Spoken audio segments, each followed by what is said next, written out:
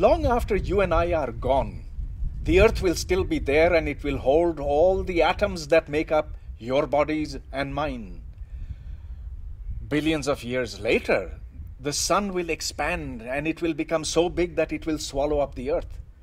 Much, much later, it will run out of fuel and become one of those very many dead objects that you see up in the sky.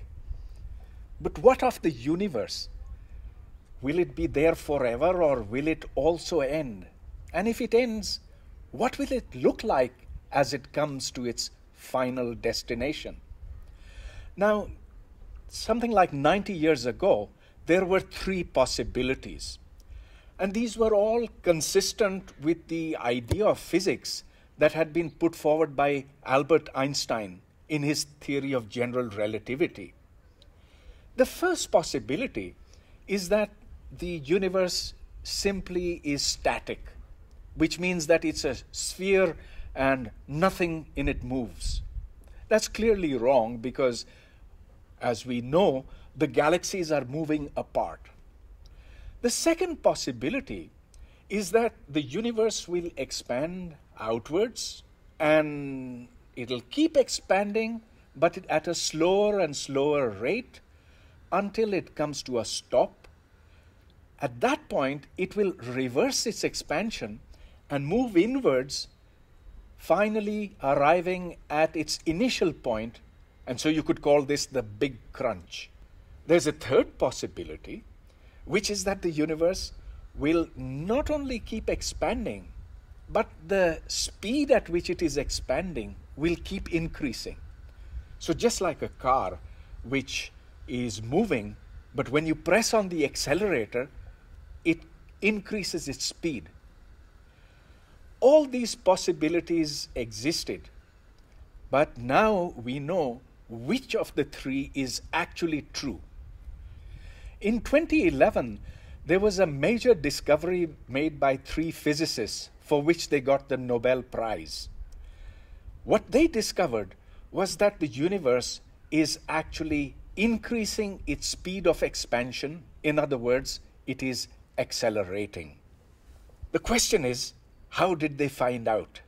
In physics, it doesn't matter who says what, it's a question of where is the proof. There are two parts to this answer. The first is very easy. We know how to find out whether something is moving and how fast it is moving.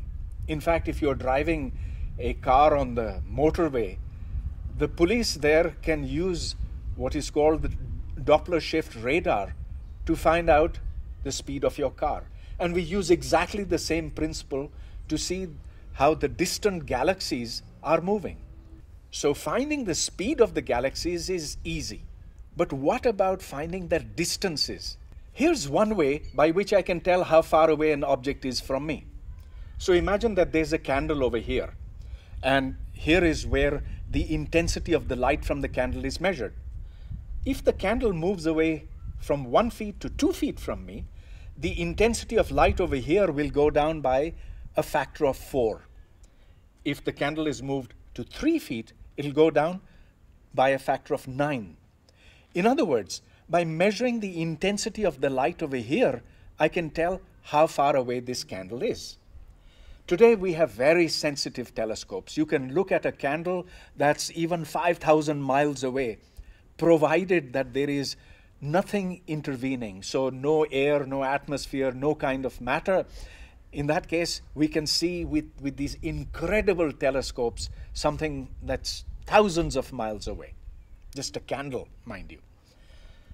Now, the question is do we have candles in the sky? And the answer is yes. There are candles that are stars, supernova, in every galaxy. Let me tell you a little bit about supernovae and why they are formed. Now, a star, when it starts running out of fuel, eventually has to die. And it can die in very many different ways. One way is that it suddenly blows up. And it, it's such a dramatic explosion that for a very small amount of time, that one star has greater intensity of light coming out from it than the billions of other stars in the galaxy.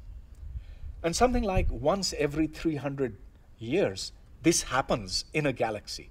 So we have lots and lots of supernovae all around in the universe.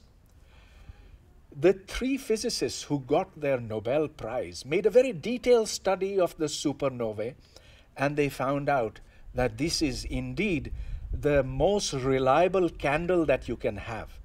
So, knowing how fast the stars, the galaxies are receding from us, and how far away they are, we can then quickly come to the conclusion that the universe is expanding at an ever greater speed.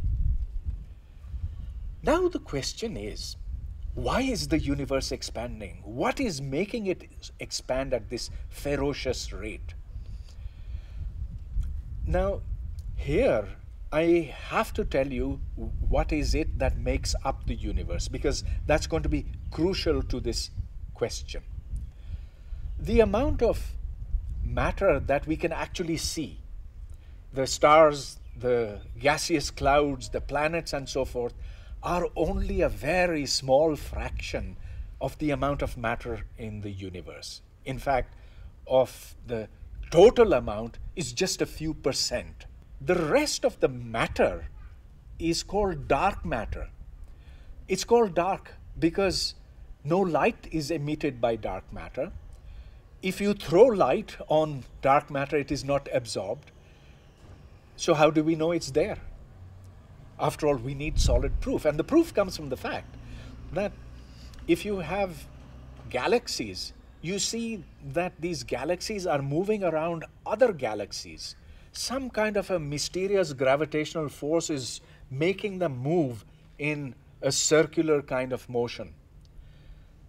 Let me give you an example. Suppose you had a stone. The stone was tied to a string, and you saw a stone moving around, but you couldn't see the string. What would you guess? You'd guess that there's some kind of force that's pulling that, that stone towards the center. In this case, that force is gravity. And it's being exerted by matter which you cannot see, but which simply has to be there. We're still looking for dark matter. It's not that it's been found, but there are many experiments, and probably by the end of this century, we will know how much of it is there and what it is actually made up of. But now, visible matter and dark matter is not all that makes up the universe. There's also something called dark energy. Dark energy is not so easy to explain, but let me try and do it anyway. Imagine that you have some kind of a vessel and you suck the air out of it. Well, you'd get a vacuum in there. And you'd think that there's absolutely nothing in there because you've taken out all the atoms.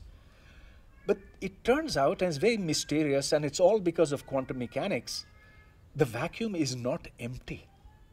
The vacuum has got particles that pop out of the vacuum and pop back into the vacuum. So it's particles that are being constantly created and destroyed.